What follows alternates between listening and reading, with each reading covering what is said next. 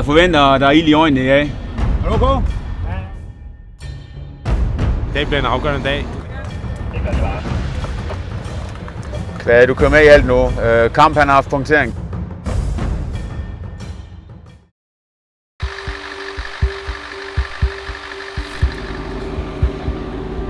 Først og fremmest øh, i går super, super indsats. Øh, Alexander, flot enkelt start. Kvæde helt exceptionelt. Jeg forventer, at der er ild i øjnene i dag.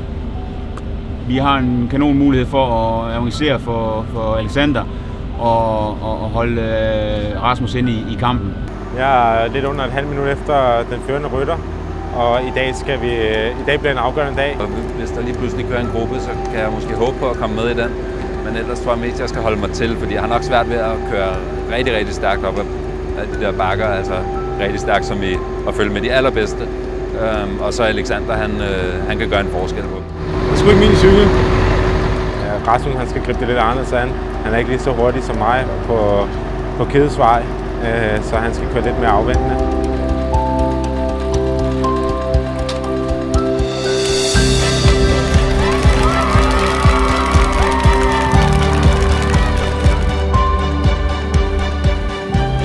Alexander, han, han ved godt, at han skulle ud og tage, tage tid i dag, øh, nede på Kidesvej, eller, eller før måske. Øh, det ved man aldrig, øh, for at kunne køre sig helt op i klassementet. Og, øh, det må vi satse på, at øh, han har benene til at kan, kan køre en, en, en rigtig god øh, finale i dag. Er du okay? Jeg har været tæt på en del gange på Vejle-etappen. Det er den etape, som passer mig bedst. Men i år er en hård udgave af Danmark Rundt nok den hårdeste nogensinde. Så der er faktisk øh, i hvert fald to etaper, som passer mig godt. Det er i Vejle, og så er det oppe i Nordsjælland, Asnes indluk. Man kan jo ikke gardere sig mod uheld. Øh, En punktering på et forkert tidspunkt kan jo lægge meget. Sidder de med den? Sådan, kvæde og kamp kom til Det er rigtig, rigtig flot. 10 mand er sted nu. Holder den i gang. Det er vores chance nu. Kom så. Jeg vil rigtig gerne øh, placere mig lige så godt, eller i hvert fald på podiet igen i år. Men situationen er lidt anderledes i år, end, øh, end den var sidste år, hvor at der var jeg kaptajn på det hold, jeg kørte på. Kvæde kom så langt op til kamp som muligt. Alexander Kamp er virkelig skarp til en kidesvej, og måske endda kan virkelig køre løbet samlet. Øh, Tingene skal plads sig lidt mere for mig, hvis at, at jeg skal vinde det samlet. Han kan gå ud og styre det selv. Kom så, drenge. Kom så. Der er kun to gange mere op. Kom så.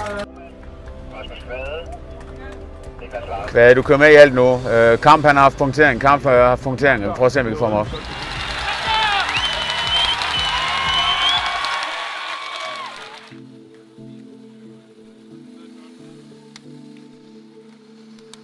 Jeg for at overleve, øh, men øh, det var det jo så også op ad bakken sidste gang. Men Lasse han kørte stærkt opad, og så gik det lidt hurtigere, men jeg kom over den.